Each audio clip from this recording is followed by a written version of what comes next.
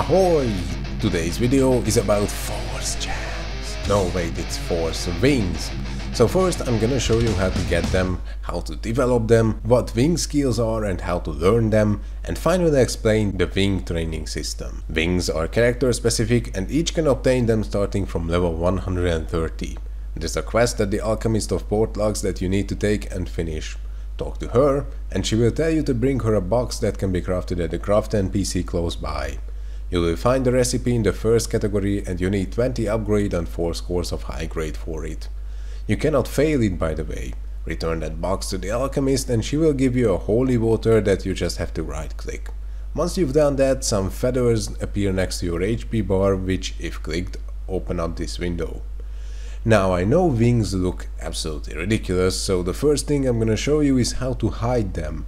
Click the settings icon in the top right corner of that window and select this grammatically perfect option to hide all wings. So what's the point of having wings if the first thing you do is hide them? Well, they aren't only cosmetic. You see, wings can be leveled up and each level increases their benefit.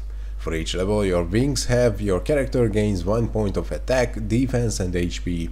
That might not sound like a big deal initially, but wings are going to have something like 600 levels in the future, so it's definitely worth the investment. Next thing on today's agenda is actually leveling them up. Wing XP kinda works like pet XP or skill XP, you gain it for hitting stuff. However, I'm not allowed to use swear words in these videos because they don't have age restriction, so I'm not even going to try to emphasize how slow this is. Fortunately, there are other ways to gain Wing XP elixirs or potions. There are several ways to obtain them, like participating in guild treasure, guild festival, spending DP, but really the main source of them is the dungeon that was specifically added to the game to develop wings, and for that matter there are going to be more of these in the future. Each chest has a chance to drop those potions or force cores. XP is not the only thing required to develop wings.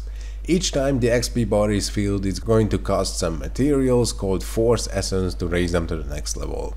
Those are crafted using Force cores and each grade of Force core can be used at the craft NPC in Port Lux. You may have noticed these three icons here. They are the wing skills I mentioned. The first one is a passive skill which simply increases movement speed when walking. It does not affect vehicles. The middle one needs to be manually activated and by doing so it will increase the damage of your next attack. Only one attack, no matter how much damage you deal with it, will be increased by a certain fraction of it. And the third one is quite the opposite. It protects your character from an enemy attack no matter how much damage that would deal. And it works as though the attack was missed, so it's ideal for avoiding crowd control effects like suppression. All of these skills can be purchased from the Alchemist of Port Lux and once you learn them they will appear in your special skills tab. Those skills can be leveled up as well. There is something called wing grade starting with normal as you first get your wings. Once they reach level 100 they can be transcended to the next grade. That requires yet another type of material which is dropped by the last chest of the wing specific dungeon. Once that is done, the wings turn into rare grade and so on, and each time they start over from level 1. However, the stat bonuses for attack, defense and HP are accumulated and the wing skills become more effective as well. And the last thing for today is wing training. If you click the training tab in this window, you will see something like a skill tree. Those are passive skills with pretty impressive benefits.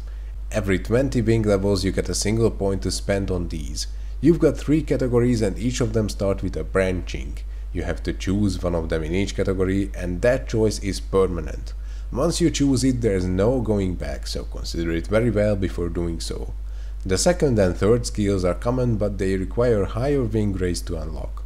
So if you do the maths you've got 100 levels and 1 point every 20 levels, that's barely enough to get half of one skill.